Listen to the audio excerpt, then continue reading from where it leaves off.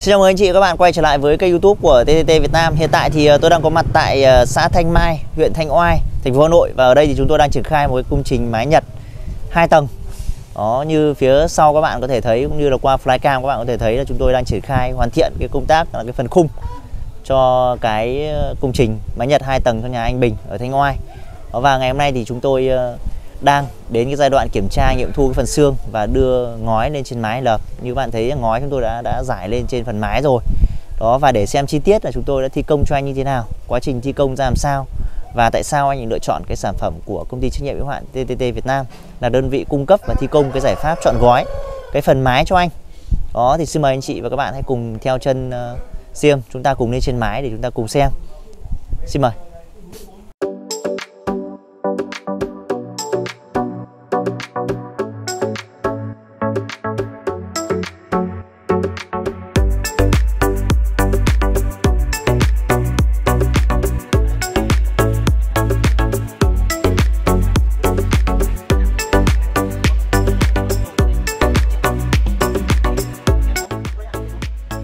Hiện tại thì ờ, tôi đang có mặt ở trên cái phần mái mái tầng 2 của nhà anh Bình ở Thanh Ngoai các bạn ạ.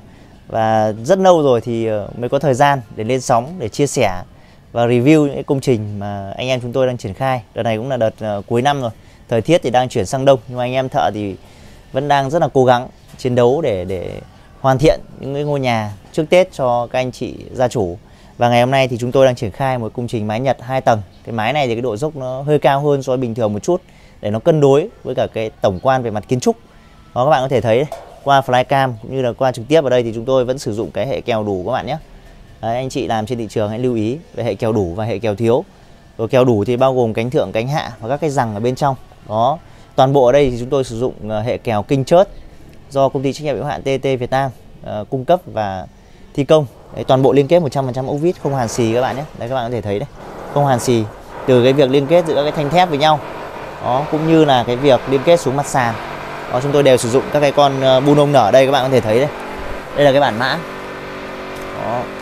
Đấy con bu nông nở. Đấy. con uh, trên thị trường thì ờ, có hai cái loại bu nông nở chính các bạn nhé. Thứ nhất đó là cái bu nông nở áo. Đó thì nở áo thì có cái loại nở sắt nó hay màu vàng đấy các bạn ạ hoặc là inox. Đấy, thứ hai là cái nở bu nông theo cái dạng đạm như thế này thì ờ, với kinh nghiệm làm của của mình thì lên sử dụng cái lở đạn như này thì khi mà bắn xuống mặt sàn liên kết xuống mặt sàn thì nó sẽ chắc chắn hơn cũng như là cái liên kết nó sẽ an toàn hơn. Đó. Đấy cái khoảng cách kèo thì ờ, vẫn nhỏ hơn một mét hai. Đấy, các bạn có thể thấy. Ở đây toàn bộ sử dụng hệ kèo đủ hết. Đấy. ở đây thì anh gia chủ hôm nay thì anh ấy chọn lựa chọn cái ngói ờ, SCG bạn nhé. Ngói SCG anh camera có thể tiến sát đây quay giúp tôi cái ngói SCG này. Đấy. ngói này sử dụng công nghệ sơn ướt các bạn ạ. Đó. Và sử dụng một vít. Đó. một vít ở sóng dương. Đấy, vít 6 phân các bạn nhé chứ nó không phải vít uh, 4 phân như các cái loại ngói Nhật chúng ta vẫn hay dùng. Đó. ở đây sử dụng loại uh, ờ, vít uh, ngói 6 phân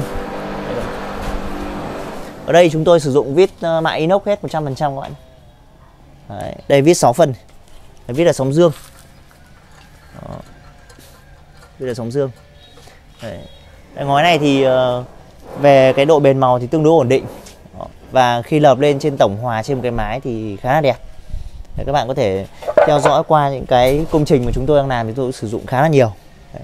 và ở đây thì phần tét nước anh uh, anh Bình thì anh có để ở trong lòng mái đây các bạn có thể xem tét nước anh để trong lòng mái đối với cái máy nhật thì rất nhiều anh chị ờ, lăn tăn hay thắc mắc là cái tét nước thì lên để trong hay để ở ngoài. Đó thì anh anh chị có thể để ở trong, như nhà anh Bình đây và xây. Xây cái chân này để tránh không may nước nó trào ra thì nó nó nó sẽ đỡ hơn anh chị ạ. Đó, và nó sẽ ổn định hơn. Đấy. tét nước thì để trong lòng mái thôi. Về mùa hè thì nó sẽ ổn định hơn. Tránh được cái trường hợp là nóng, cũng như là mặt trời nó chiếu vào thì nước rất là nóng và rất là khó sử dụng. Vì vậy là lên để ở trong trong lòng mái thôi. Ở đây thì ờ, máng suối âm chúng tôi sử dụng toàn bộ bằng máng suối âm inox 304 các bạn nhé. Đó. Máng suối âm inox 304S.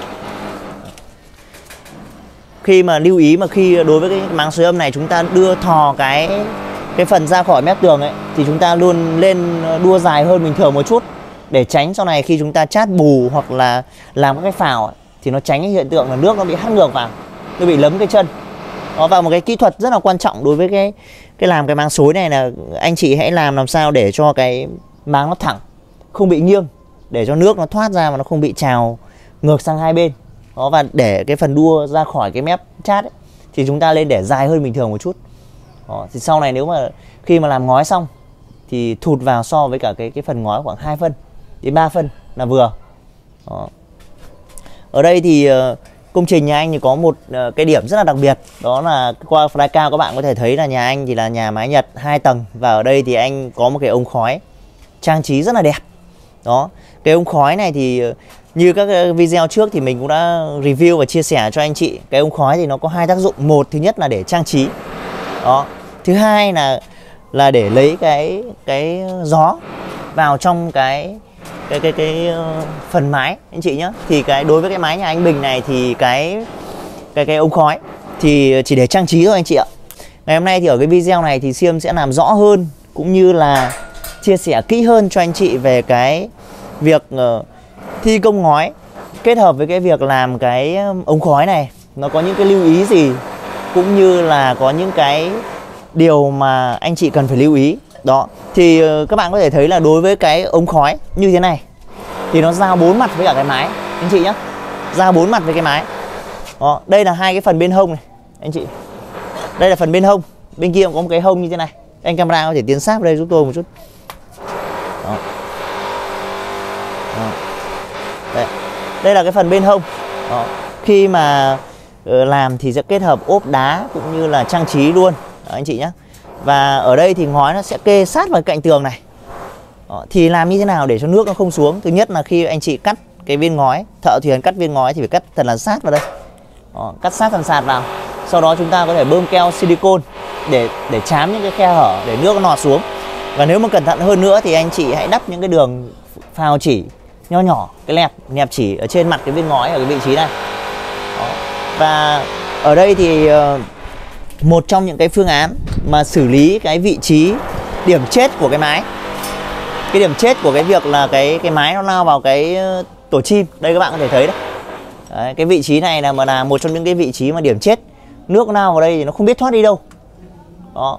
Thì có hai phương án làm cho cái vị trí này. Một là chúng ta cho lao vào tường ngậm vào tường và chúng ta làm ở trên mặt nó một cái đường vữa để nó dành ra hai bên. Khi nước nó phóng vào, nó sẽ tràn ra hai bên thì nước nó sẽ thoát. Thứ hai là làm một cái máng inox như nhà anh Bình đây. Đó, đây là một, đây là một cái giải pháp rất là hay và hữu hiệu.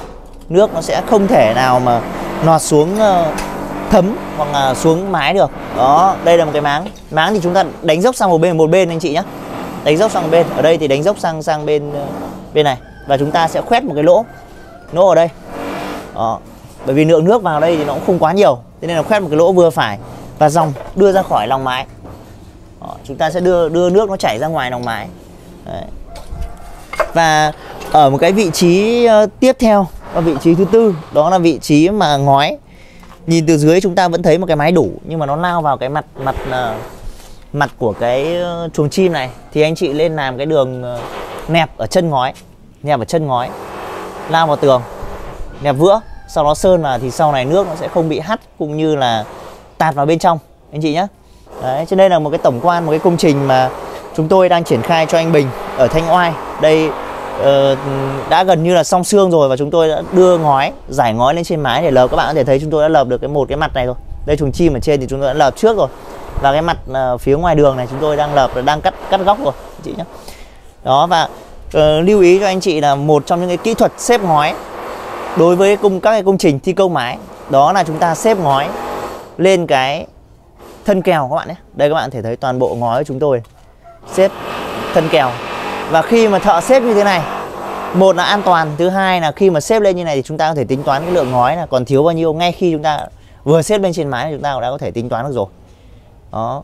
Thì trên đây là toàn bộ những cái uh, chia sẻ của Siêm đối với cái công trình của nhà anh Bình ở Thanh Oai. Nếu như các bạn và anh chị có nhu cầu tìm hiểu về hệ khung kèo thép siêu nhẹ cũng như tư vấn về những cái giải pháp khung kèo mái, thì hãy liên hệ với tôi OK Siêm của TTT Việt Nam.